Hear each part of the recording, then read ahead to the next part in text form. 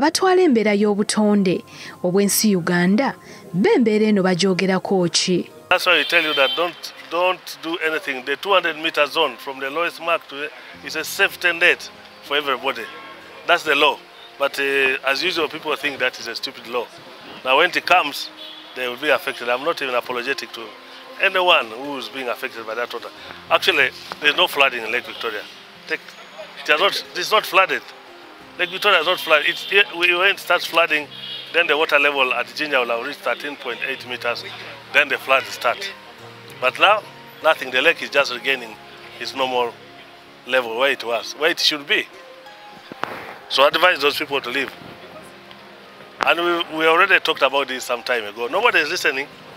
And we said there is going to be a change in the weather. We're going to expect a, a rise, more rain here the next so many years, five years or so. So theoretically, they expect that Lake Victoria's water levels are going to rise to 1962 levels. That's when we shall have floods. For now, it's going to be progressive. And I advise anybody who's stupidly staying around the lock shores, there, there, there, there, to leave now. The, the, this, this rain is coming. Have you seen the, the, going to be a dry season? No? So we're going to get next water. Going to add. Next water, going to add. 2022, that's what the science says. Last year we had more than the normal rainfall. That is certainly a factor. Even as you see now, we are supposed to be experiencing the dry spell. It is raining, so all that is uh, going into the lake. And uh, I think a few years back, when we had some drought, the lake receded a bit, and people took advantage and thought they could go and settle there against the advice.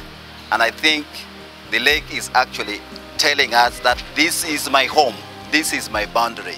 Don't be, don't settle there. And I think my appeal to all Ugandans is let us respect nature and respect these shores.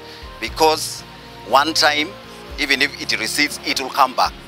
And when it comes back, it destroys property, which is unfortunate. We advise people that the, the law says 200 meter buffer zone. It is because our lakes are shallow. When the water comes, you allow the water to come slowly to the 200 meters. That is really how the, the, the lake breathes. Okay. So, but if you go and build 100, 200 meters like what is happening there, that's what you expect. You expect that the water is coming and gets you there. Uh, okay. So, and there is a delay between the rainfall time and then what you see in, the lake. There's always a delay time. So we saw a lot of rain, now we're seeing the water coming. Now another lot of rain is going to come, then you see water coming. So we can even draw a graph to when to expect the water to be to be increasing.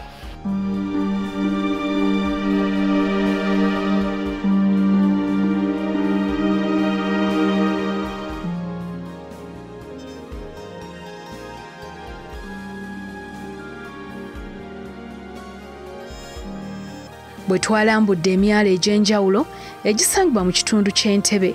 Embeera ey'abantu abali mu bifo eby'enjawulo ku mbalama z'ennyanja nalubaale mwattu bw'ogituukamu yennyamiza amazzi gatukosezza nnyo nga bwolaba wano. Tetukyasobola kukola bakasoma baffe tebakyasobola kujja wali we tukolera kubanga amazzi gano galaba gabeeranga eri naye kati gatusemberedde eddala we tukolera wennyini tetukyasobola kukola ne bakasoma baffe tebakyasobola kujja we tuli. Bw'otuuka mu kitundu ky'e bugonga nga kino kimanyiddwa nnyo ng'ekimu ku bifo amaato we gatuukira nga gavudde mu nnyanja ate nga ku balala kyekifo ekimu ekimanyiddwa okubeerako ettendekero erisomesa abavubi olaba obunyiivu bw'amazzi ku nnyanja.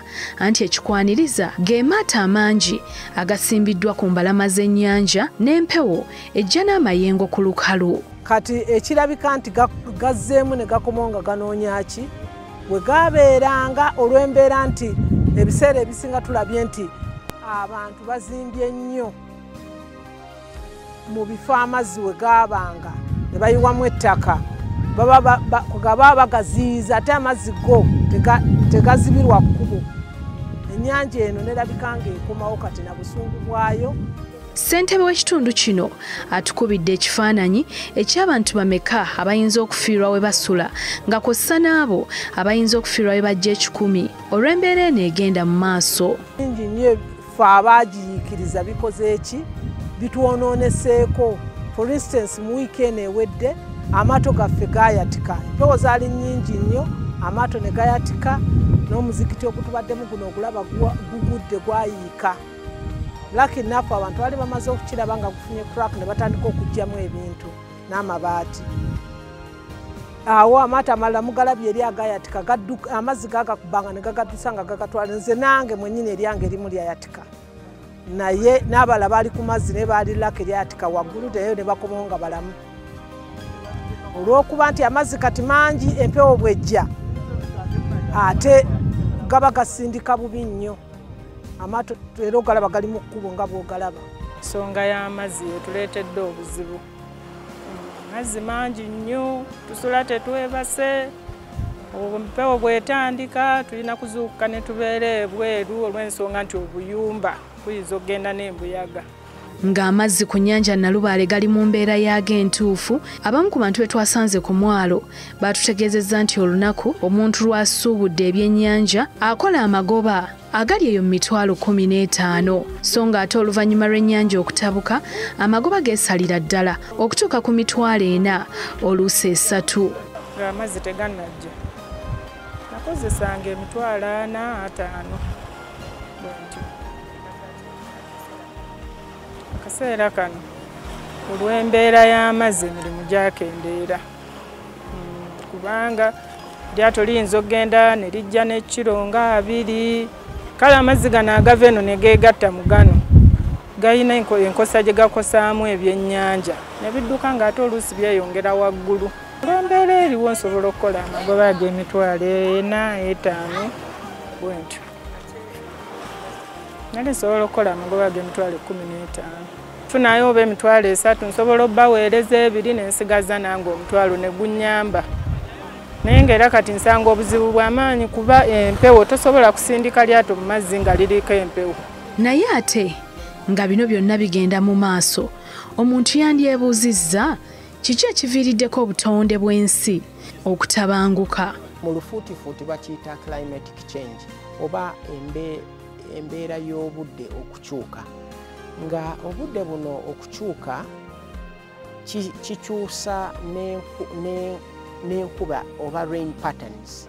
Kikyusa enkuba entonya yaayo nga wano tujja kulaba nti kyekireetera kino bintu bingi nnyo of course. Oli tayinza kuga nti kino kyokka oba kutema miti oba factories oba kiki kyekikyusiza.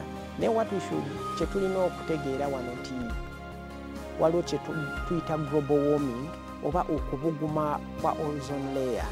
Nga kuno okubuguma kusi kuviira ddala ku bikolwa byaffe ng'abantu omuli ebyamakolero omuli n'ebintu ebirala. Nti tuyinza okugamba nti omukka